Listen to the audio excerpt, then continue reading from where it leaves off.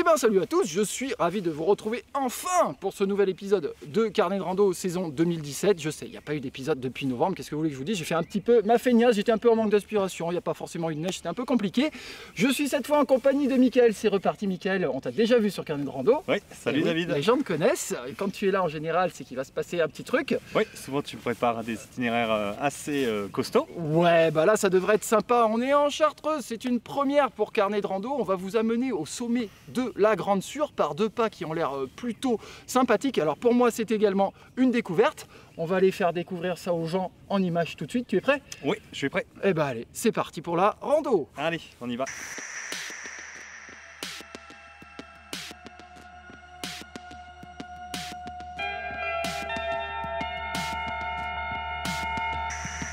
Bon, Michael est en train de regarder, vous avez vu la, la carte, on arrive là où ça devient intéressant, on vous a pas montré avant, ça fait que monter en forêt, vous aurez juste vu deux randonneurs en train de dire Et un chamois.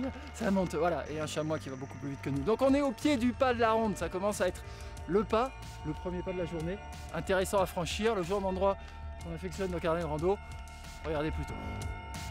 Le pas de la ronde rentre dans la catégorie de ces passages sympas, aventureux et sportifs qui se frayent des chemins dans des endroits où clairement on ne les y attendrait pas. Là où il n'y a que falaises et barres rocheuses, se déniche un petit chemin abrupt qui contourne astucieusement les difficultés. Un balisage jaune s'y trouve encore parfois et permet de garder le bon cap dans ce système de vires et de ravins boisés où l'atmosphère verticale de la Chartreuse s'exprime progressivement. On finit par rejoindre les pentes sud de Charminel à 1350 mètres d'altitude. Oh ça y est, on trouve la neige parti Bon bah nous voilà sur la prairie de Charminel tout enneigée. On va chercher un coin où grailler et on va regarder là si ça passe du côté du, du goulet du Lorzier, je suis pas trop sûr hein, quand même.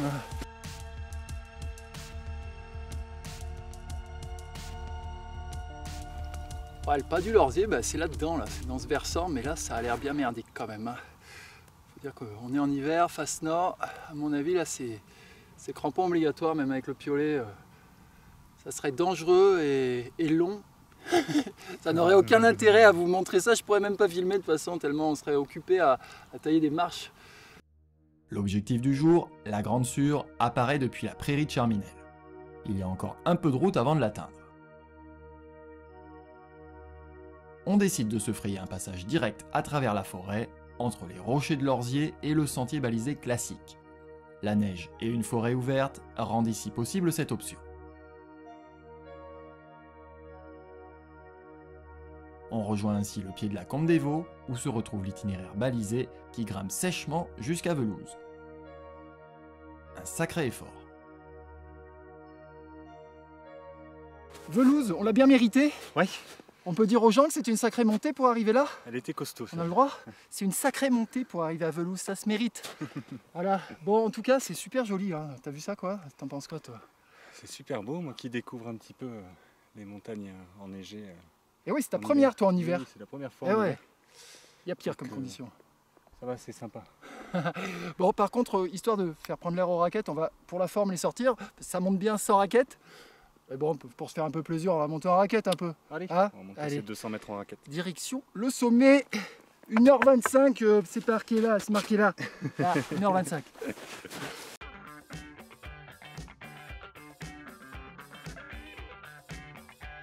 Mais avant d'atteindre le sommet, il faudra d'abord rejoindre le col de la Sûre. 175 mètres de dénivelé supplémentaire à s'acquitter dans un vallon d'altitude magnifique. Une fois le col rejoint, les regards se tournent vers ce sommet encore 245 mètres plus haut. Autant dire que la journée est loin d'être terminée et qu'il faudra avoir gardé un peu de jus sous la semelle pour tenir le coup, tout en profitant des premiers panoramas que l'altitude commence à délivrer autour de soi. Les derniers pas seront sans doute les plus durs, mais la perspective d'un spectacle exceptionnel devrait vous donner l'énergie suffisante venir à bout de cette ascension.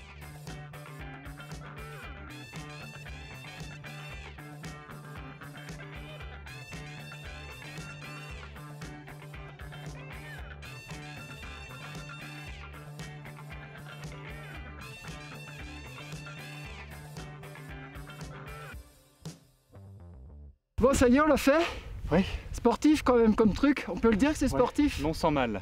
C'est quand même sportif, faut se les avaler, hein, les 1000 et quelques, parce qu'il y a et quelques, je pense, de dénivelé, faudra que je vous 100, le... 1200, 1300. Ouais, on vous calculera ça précisément sur le blog en attendant une vue extraordinaire quand même, quoi. Superbe. Hein? La grande sûre, elle se mérite, mais on va vous faire le détail de tout ce qu'on voit ici. Alors on commence ici, plein pot, le Vercors avec euh, le moucherotte, hein, euh, la grande moucherolle, euh, le Mont-Aiguille, le dévolu après euh, qui apparaît avec euh, l'Aubiou et le, plateau de Bure au-delà du, du Trièvre. Après, bah, on a normalement le, massif du Taillefer hein, qui, borde le massif de Beldon. On voit, voit Champs-Rousse, là, de Champs-Rousse, la croix de Champs-Rousse qui, qui avance avec le, relief de Beldon qui va jusqu'au grand pic de Beldon, qu'on voit bien là-bas. Et tout le reste de la chaîne de Beldon qui est juste de l'autre côté des, principaux sommets de Chartreuse. On a Charmançon, on a Chamchaude, on a la Crawl, on a le Grand Son. Ce qu'on voit surtout très bien, c'est vraiment tout le massif des Bauges avec euh, les lignes de crête là-bas qui partent jusqu'à l'Arcalo. Ça, ça, on le reconnaît d'ici. Et puis, bien sûr, le Seigneur Mont Blanc Bon, maintenant la descente. Ouais. T'es chaud Oui, ça va aller. Ce sera moins compliqué à mon avis que la, la Alors, montée. petite surprise quand même dans la descente, on ne va pas repasser exactement par le même endroit. Là, on refera des images tout à l'heure quand on aura quitté la neige. J'ai encore un petit truc à vous montrer, c'est le pas de la miséricorde qui nous permettra de retomber sur nos pattes à la voiture. Une belle boucle. Ouais, peut-être qu'on arrivera la nuit. Oui, Je peut-être. ne sais pas. Si vous nous voyez à la frontale, c'est qu'on a été un peu court. Allez, on y va.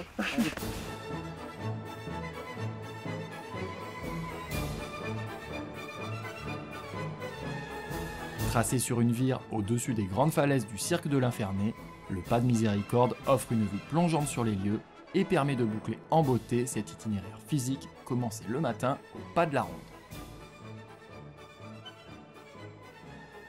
Et si, comme nous, vous passez au moment du coucher du soleil, vous pourrez profiter en bonus d'un spectacle tout simplement incroyable. Bon, on pouvait pas rêver. euh, meilleur endroit pour clôturer cet épisode. C'est sûr. Ah mais sérieux, là, Juste là, les rayons du soleil. là. Même pas, je m'attendais à ça. Quoi. Même pas. C'est juste exceptionnel. Vous avez vu ça quand même, ce qu'on vous fait, bah, carnet de rando pour finir ces épisodes. Là, euh, on a placé la barre très haut. Bon, en tout cas, euh, Mike, c'est le moment de quitter le Tiens, public et de dire au revoir. On vous dit au revoir. On retrouvera Mike, j'espère, une prochaine fois. Ouais, encore Ah, merci, voilà, hein, comme euh, dans le Vercors. hein. Avec plaisir. Ah, c'est fait avec plaisir tout ça. C'est de l'amour, carnet de rando. Allez, rendez-vous à bientôt pour un nouvel épisode. Salut à tous. Bonne soirée. Salut